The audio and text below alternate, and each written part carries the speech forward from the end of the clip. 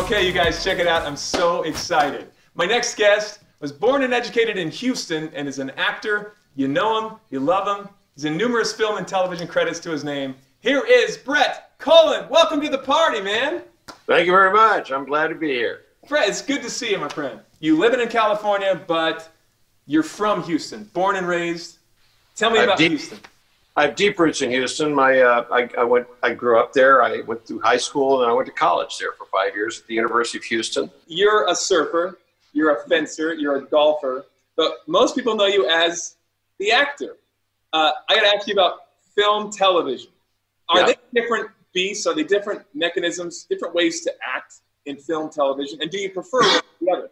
They're not different in terms of your approach to the work. No, I mean you're still playing a character and you're still doing. I mean, obviously, the difference versus stage versus film and television is is somewhat different, Yeah. but.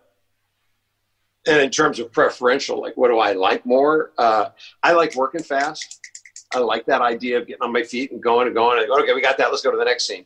Yeah. Uh, film is a bit, particularly like Dark Knight Rises, uh, was was a, a much slower process.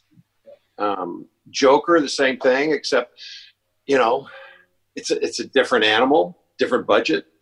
Um, but then you have a little indie film that shoots like a TV show where you shoot 12 pages a day. You know, you got to go because there's the budget's low and you got to get the film in the can. And So, speaking of taking care of each other, this is a big year in our country. It's a census year, the 2020 census. We do it every 10 years, but this is a big, significant one. Why do you think it's important for the census to, for everyone to be counted, and how does that help people in Houston, those communities?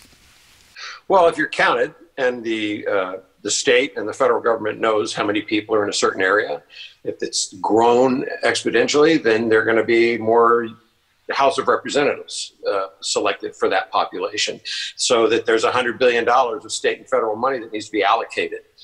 And based on if you have a disability or if you're retired, if you're, you know, what job you do, what you buy, what you like, I mean, all that is taken into account in the census. So it, it, it helps you to be counted because if you're not counted, it's like voting. You don't have a say. Yep, yep, exactly. Well, then I got one final question for you today, Brett. Are you going to be part of the 2020 census? Well, count me in. Yeah, baby. Awesome. Thank you so much for joining us at the house party. You can come back anytime, all right?